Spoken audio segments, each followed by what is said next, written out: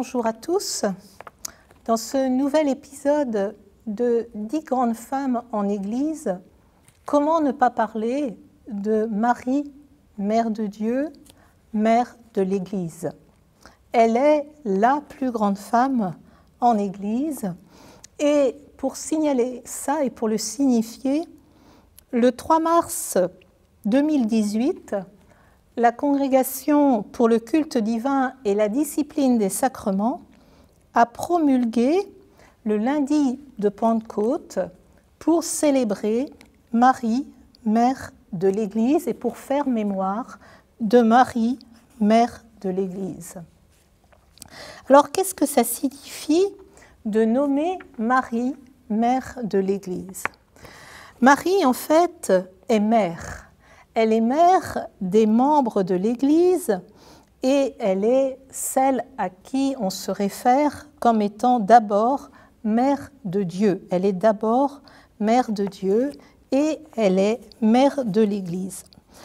Cette affirmation de Marie, mère de l'Église, est une affirmation qui a été faite après le Concile Vatican II dans une exhortation apostolique Signum Magnum du 13 mai 1967.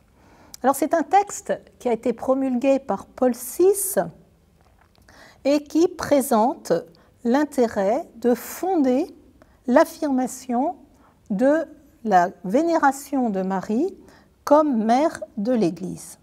Et donc on est invité à considérer Marie comme mère spirituelle de tous les membres de l'Église. Alors, je cite ici hein, euh, le texte que nous avons euh, pour faire le lien en cette, euh, de ce texte, de cette maternité. Il est en effet de la Vierge Marie comme de toute mère humaine. Sa tâche ne se limite pas à donner la vie, elle doit aussi nourrir et élever son enfant. Elle continue maintenant au ciel à remplir son rôle maternel en coopérant à la naissance et au développement de la vie divine dans chacune des âmes des hommes rachetés. C'est une vérité très consolante qui fait partie intégrante du mystère du salut. Elle doit donc être objet de foi pour tous les chrétiens. Alors qu'est-ce que ça veut dire que Marie est mère de l'Église? Ça veut dire qu'elle est modèle. Et euh, dire qu'elle est modèle, ça veut dire qu'il faut que nous considérions l'exemplarité de Marie. Mère et modèle dans l'ordre de la foi, dans l'ordre de la charité et aussi dans l'ordre de l'union au Christ. Marie, elle est celle qui d'abord, dans l'histoire du salut, écoute. La Vierge qui écoute elle est aussi celle qui prie, hein, Virgo orans en latin. Elle est celle qui donne la vie et qui donne la vie en particulier à son fils, le Fils de Dieu, Virgo pariens. Et elle est aussi celle qui s'offre et qui offre son fils, Virgo offerens. Et donc, ça, c'est ce que l'exhortation apostolique Marialis Cultus va reprendre. Il va présenter d'abord Marie comme celle qui écoute. Marie est donc celle qui écoute et qui répond par la foi. C'est-à-dire qu'en nommant Marie de mère de l'Église, on manifeste que pour être en Église que c'est toute l'Église qui doit, comme elle, puisqu'elle est notre mère, apprendre à écouter et à répondre dans la foi. On voit aussi que Marie est celle qui prie. Marie nous apprend à prier.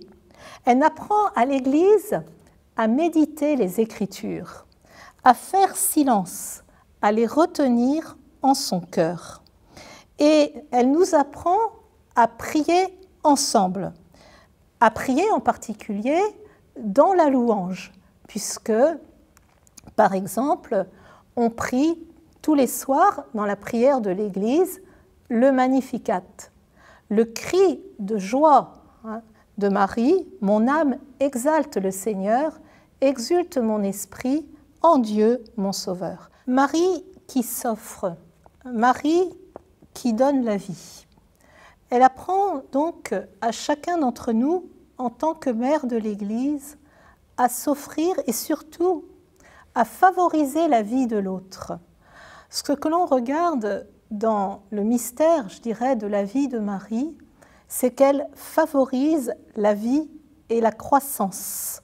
La vie et la croissance d'abord de son fils, une vie et une croissance qui va jusqu'à l'offrande totale, puisqu'il va euh, devant elle mourir sur la croix. Et donc Marie, en tant que mère de l'Église, nous apprend à nous offrir et à favoriser la vie de nos frères et sœurs qui nous sont confiés. Marie est celle aussi qui va nous permettre d'entrer dans la prière. Marie qui prie avec le Magnificat. Ainsi, on peut dire que avec Marie, l'Église entre en fait dans la continuité de ce qu'elle a vécu avec le Christ. Et ces quatre dimensions que j'ai citées, hein, Marie qui écoute, Marie qui prie, Marie qui donne la vie, Marie qui s'offre, se conjuguent et se conjuguent et manifestent ce qu'est la maternité de Marie envers l'Église. Et en fait, nous avons à regarder Marie comme un modèle un modèle puisqu'elle est toute relative à son Fils, à Dieu en son Fils Jésus-Christ. Et donc elle nous apprend comment aimer, comment nous offrir, comment donner la vie, comment prier. Elle est un être de relation et c'est pour cela qu'on peut regarder Marie comme mère de l'Église. Alors qu'est-ce que ça veut dire que Marie est mère de l'Église? Je dirais, c'est pas nous qui l'avons décidé. Je vous ai cité tout à l'heure, quand on a parlé des abbesses de Fontevraud, ce qui était écrit sur leur frontispice, à savoir le moment où Marie est confiée à l'apôtre Jean et Jean est confié à Marie. Et donc c'est le Christ en croix qui donne Marie comme mère à Jean et qui situe Jean en relation de filiation avec Marie. Le lien de maternité de Marie avec l'Église, il, est, prend sa source dans la croix.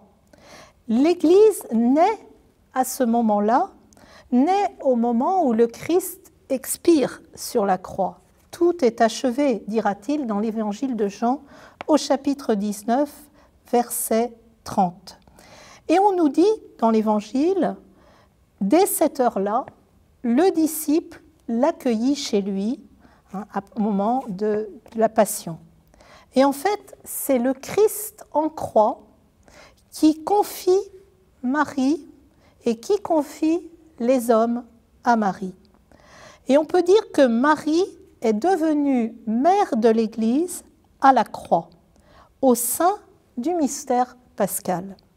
Et cette révélation de la maternité de Marie, elle appartient à la tradition. Et on peut retrouver dans un texte de Jean-Paul II, de Saint Jean-Paul II, dans l'encyclique Redemptoris Mater, cette révélation. Il écrit ceci. Les paroles que Jésus prononce du haut de la croix signifient que la maternité de sa mère trouve un nouveau prolongement dans l'Église et par l'Église, symbolisée et représentée par Jean. Ainsi, celle qui, pleine de grâce, a été introduite dans le mystère du Christ pour être sa mère, demeure dans ce mystère par l'Église comme la femme que désigne le livre de la Genèse et l'Apocalypse. La maternité divine de Marie doit s'étendre à l'Église. Reconnaître Marie comme grande femme, la grande femme en Église, celle à qui on va devoir un culte que l'on va appeler d'hyper du lit, c'est-à-dire au-delà du culte que l'on doit à tous les saints. Hein, le culte qu'on doit aux saints, c'est le culte de du lit. Pour Marie, on va avoir le culte d'hyper du lit.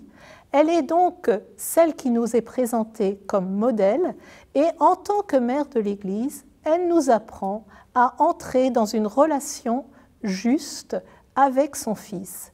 Et c'est son Fils qui nous l'a donné comme mère. Et c'est cela que nous vivons en Église. Et c'est à ce titre que nous pouvons lui faire, je dirais, la plus grande place à la plus grande des femmes en Église. Je vous remercie de votre attention pour ce nouveau euh, numéro de 10 grandes femmes en Église.